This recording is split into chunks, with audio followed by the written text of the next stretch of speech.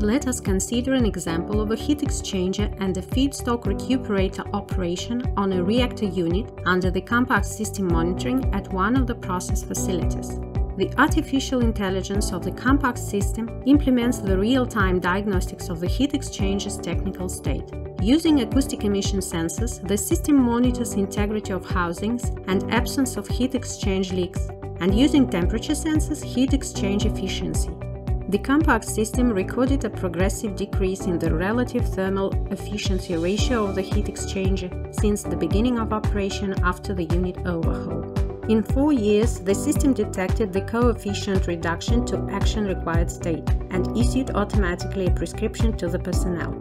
Heat exchange reduction, prepare cleaning of tube bundle, and simultaneously warned the process unit and facility responsible engineers on the incident. The unit operator checked the heat exchanger performance parameters according to the automated control system data, and after confirming the decrease in heat exchange, an increase in the hot stream outlet temperature and a decrease in the cold stream outlet temperature, entered the prescription into the unit overhaul schedule and the reliability department engineer into the unit inspection plan.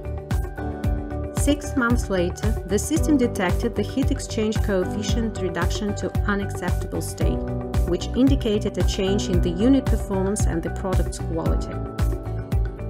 Within the technical meeting, the unit specialists discussed the issue and proposed to adjust the date of unit scheduled maintenance according to the prediction.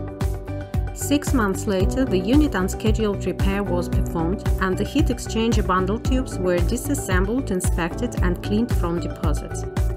Due to the repair urgency, the bundle was not extracted. After commissioning, the system confirmed the heat exchange efficiency recovery.